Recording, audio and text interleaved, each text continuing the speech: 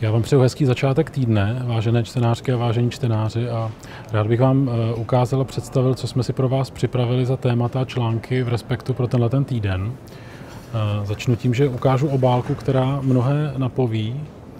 Eh, není to tak, že bychom si uvědomili pozdě, že proběhl filmový festival v Karlových Varech, ale tentokrát je na té obálce důležitá jiná věc, to jsou ty cigarety. My jsme se eh, rozhodli se podívat trošku blíže, vlastně do jaké míry ovlivňuje eh, českou nechuť regulovat cigarety a zakázat kouření v restauracích i něco jiného než eh, ideologické názory lidí, kteří proti tomu jsou. A to sice do jaké míry politici a úředníci podléhají lobbingu tabákových firm.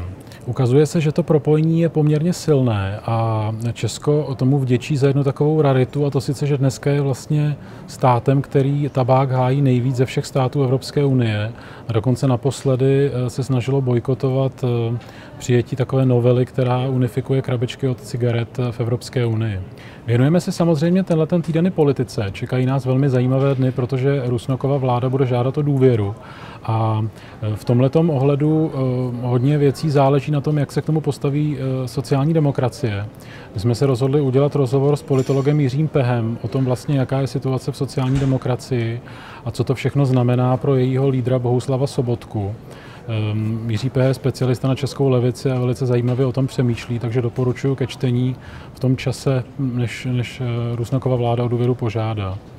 Pak máme pro vás v rubrice téma jednu dobrou a překvapivou zprávu, a to sice to, že eh, v celém západním světě velmi výrazně klesá kriminalita. Je to dáno mnoha faktory, ať už tím, že zabezpečení budov nebo aut je dneska bezpečnější, eh, že je méně mladých na ulici, že se zlepšila výchova, ale ten pokles je eh, velmi významný a je to poměrně dobrá zpráva vzhledem k našemu bezpečnému pohybu a pobytu v evropských a amerických městech. V Respektu najdete i mnoho dalších zajímavých článků a věřím, že vám přinese inspiraci a příjemné čtení pro následující dny.